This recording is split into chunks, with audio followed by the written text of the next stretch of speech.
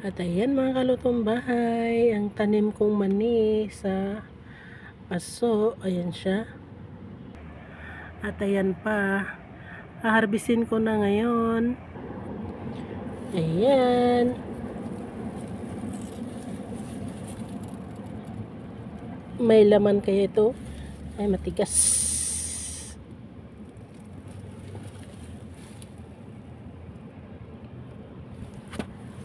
Ah,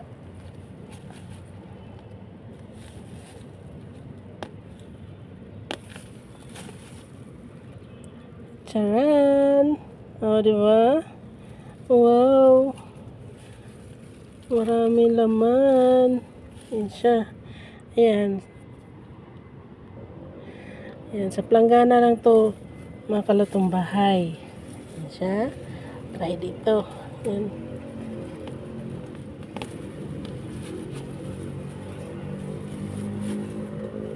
Ayan siya, oh. Wow. Maraming laman. Ayan.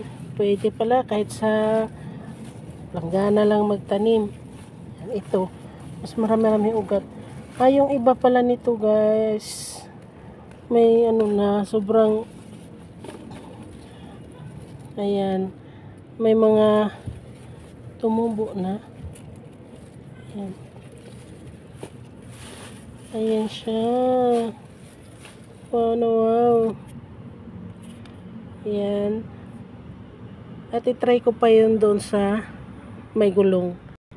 Ito. Malalaki yung puno dito. Ayan siya. Oh. Marami din laman. Ayan kasi kaya ko naisipang harbisin na kasi late na pala siguro kasi ayan o meron na siyang tumubo.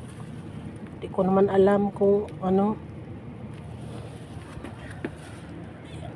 Tigas. Ayan o may mga tumubo na siya.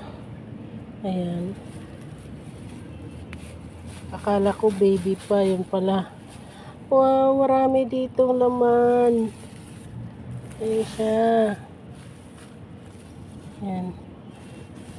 Wow, ito isa.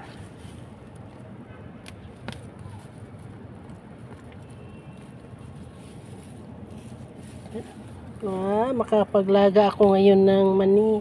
Mas masarap pag ilaga pag fresh na fresh. Wow, dami. Cute. Wow. Ayan. At ito yung huli.